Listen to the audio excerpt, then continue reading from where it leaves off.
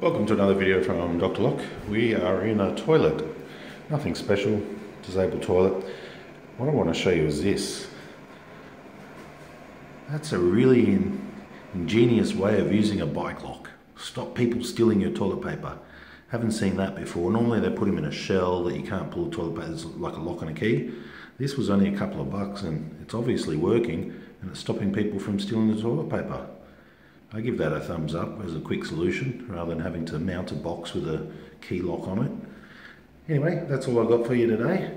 The Bicycle Dunny Roll Lock. Thanks for watching.